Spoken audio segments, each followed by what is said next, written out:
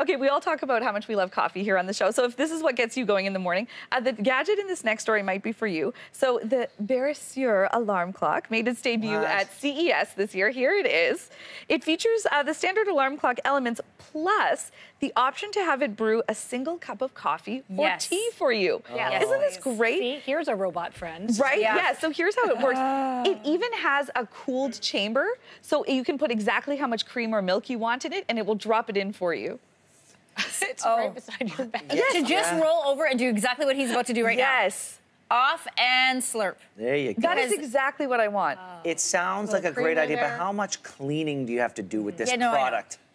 And you have to But pick Ben, it up it and Yeah, it would move be seems like- so kitchen. worth it. It I would don't be know, worth man. it. I would so much rather wake up to this, to the smell of coffee, rather than like, eh, eh, you know? Yeah.